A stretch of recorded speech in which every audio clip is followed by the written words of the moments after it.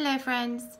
Today's reading is from the Bible, and the scripture reading is Isaiah chapter 54, and I'm reading from the New King James Version. This is a prophetic biblical proclamation. Sing, O barren, you who have not borne, break forth into singing and cry aloud. You who have not labored with child, for more are the children of the desolate than the children of the married woman, says the Lord. Enlarge the place of your tent, and let them stretch out the curtains of your dwellings. Do not spare, lengthen your cords, and strengthen your stakes. For you shall expand to the right and to the left, and your descendants will inherit the nations, and make the desolate cities inhabited.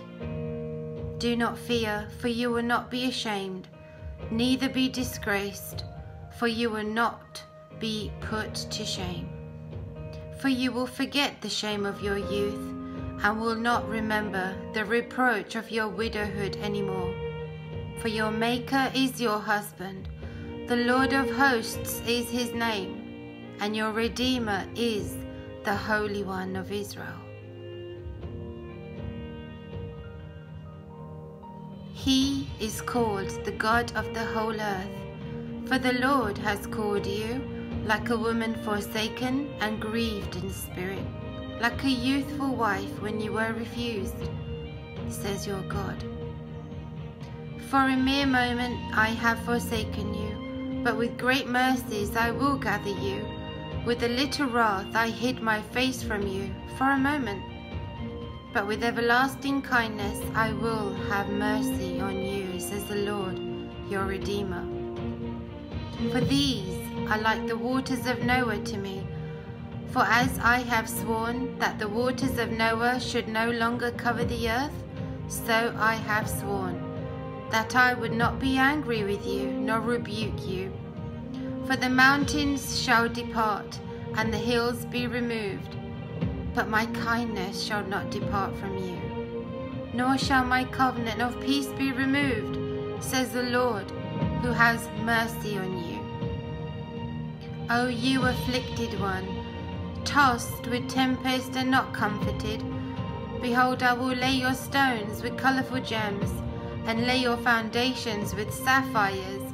I will make your pinnacles of rubies, and your gates of crystal, and all your walls of precious stones. All your children shall be taught by the Lord, and great shall be the peace of your children.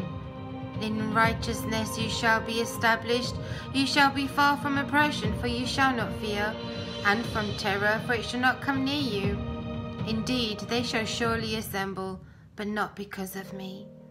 Whoever assembles against you shall fall for your sake.